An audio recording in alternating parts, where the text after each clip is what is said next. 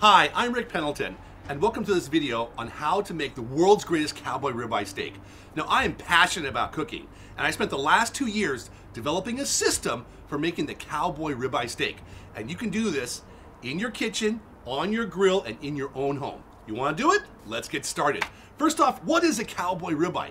Well, a cowboy ribeye is a supersized steak. These cowboy ribeyes here are two and a half pounds each. Also, you notice cowboy ribeye has a bone in. The bone in allows for more flavor. And the ribeye cut is the most juicy and tender part of the steak family here. Okay, is red meat uh, good for you? There's been a lot of people having opinions on red meat. Uh, according to research from the Annals of Internal Medicine, they did a multi-country study. Their PhD panel experts suggest that adults continue current unprocessed red meat consumption. Okay, I'm to do that. So how about we have a cowboy ribeye, but we just don't have one every day? Well, how do you know how to pick the best quality meat to make to pick your steak? All right, the United States Department of Agriculture, the USDA gives three choices for meat quality.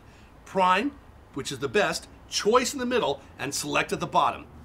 These steaks here are choice, by the way. So what's the big deal with the meat? Marbling. Uh, higher end steaks have more marbling. And marbling is the fat that is inside the meat. More marbling equals more flavor. And again, I purchased these, these steaks at Stater Brothers here in Los Angeles. I think for the money, it's the best deal you're going to get for quality and cost. Now, what's next? We are going to make a wet rub. And a wet rub is basically olive oil and a bunch of spices that you're going to coat your steak with to add more flavor. So what's in my wet rub? Well, I got olive oil, Montreal steak seasoning, ground pepper, garlic salt, and a little splash of cayenne pepper. But the secret ingredient is paprika. Now, paprika does two things. Adds flavor, but also it helps create a beautiful char around your steak. You're gonna take this wet rub and you're gonna push it all over the steak. You're gonna really use your hands and force it in. You're gonna force the flavors in. And you're gonna coat the whole steak, uh, the entire steak, so when you it's on every part of the steak. Now, once you finish the wet rub, you're gonna let your steak sit for one hour and come to room temperature. Why is that? Well, steaks cook better when they're at room temperature. Room temperature at the grill makes a better cooking steak. Okay, let's talk about something really important just for a second here.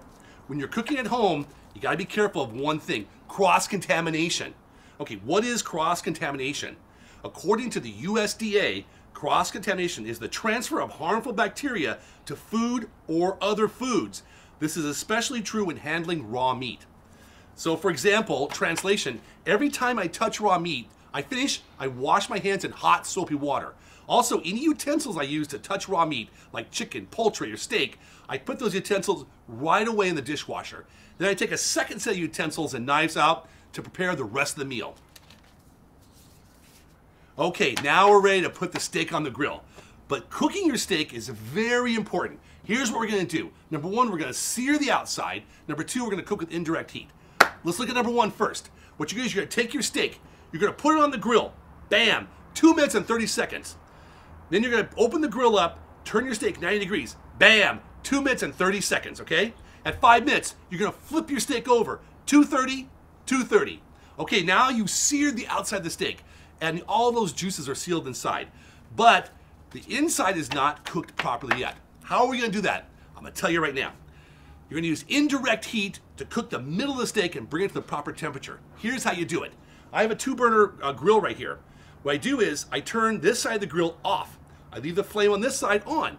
I put the steak on the grill part that's off and I let the indirect heat slowly bring the steak to room up to excuse me to the perfect temperature.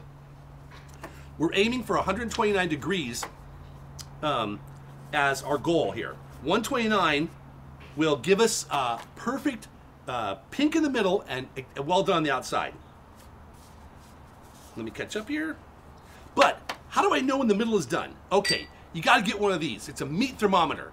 The meat thermometer is used to exactly measure the internal temperature of the steak. So I put this in there, and when it hits 129, I know the steak is done. Next, you take the steak off the grill and you're gonna let it rest for 10 minutes. Why do you let it rest? Well, the steak's juices gotta kind of readjust in the steak. They gotta move around so it's moist inside, okay? So after 10 minutes, um, you're gonna you're ready to serve your steak. Now here's last trip of the day and my pro tip of the week. When I was at the Bondi Steak Beach House outside Sydney, they did something interesting. They brought out my steak and it was sliced in pieces. And I thought, wow, what a great idea. So what I do, and I have guests, I bring the steak out sliced. Then I ask my guests, because this, if you notice, it's well on the outside, rare on the inside, out to well. I ask guests, how do you like your steak? Medium rare? Boom. How do you like your steak? Well done? Boom. That's the way we do it, so everybody gets a perfect cooked steak at their temperature they like. All right. Well, that wraps up our show. I hope you enjoyed this. Um, I've shown you how to purchase a steak, what type of meat to get, how to cook your steak and season it. Now, I hope you enjoy eating it. Thanks for watching. I'm Rick Pendleton. And by the way, special thanks to Miguel Medina, my cameraman.